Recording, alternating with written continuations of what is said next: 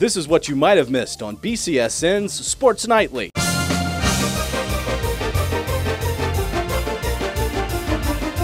Jake Paterson. I'm from Mississauga, Ontario, and I'm a goalie. That's a tough one. I'm a big uh, Mark Wahlberg fan.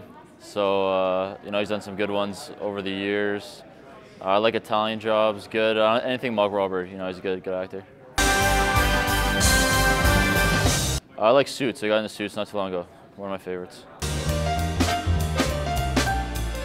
Got to say Mark Wahlberg.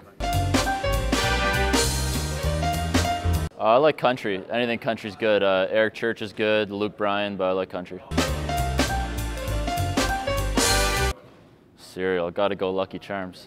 Favorite subject in school?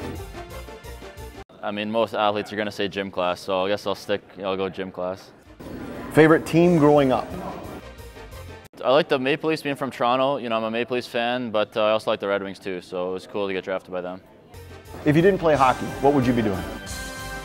Right now, I'd probably be in school, to be honest. Uh, I like business and stuff, so I'd probably be, uh, you know, at school trying to get my credits done.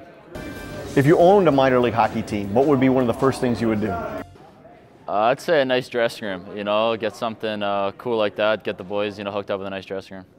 If you were stranded on a desert island, three people, alive or dead, and you could pick them, who would they be? Three people. Um, I'll go, you know, hockey great. I'll go Patrick Roy.